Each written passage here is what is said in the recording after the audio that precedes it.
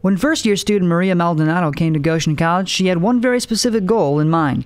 Maldonado achieved that goal Friday, January 22nd, as she took part in her first ever collegiate level track invitational at Indiana Wesleyan University.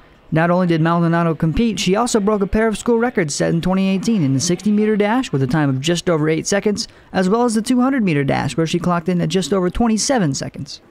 It is really special because I'm not from here. I'm from Venezuela, and when I came here, I wanted to do track and it is my first year, my first meet, and I broke my records. As if owning two school records wasn't enough, Maldonado promptly broke both of her own records on the Invitational's second day of races, Saturday the 23rd. Well, when I went there on Saturday, it was like, I want to be faster. I know what this is like, so I will put my best on it. While some were surprised by Maldonado's instant success, it came as no surprise to her coaching staff. Uh, she's been a standout from the beginning. This is her first competition that we've been able to have her in, um, so it looks like it's kind of a surprise, but it doesn't surprise any of the coaches or the athletes.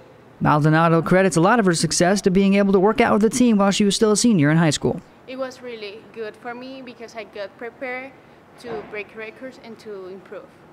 She epitomizes what our team is about. She works really hard, and so it's easy to fit in when you fit the culture. Despite being a first year student, Coach Nyce believes that even more broken records are in Maldonado's future. Reporting for Globe Sports, I'm Dante Stanton.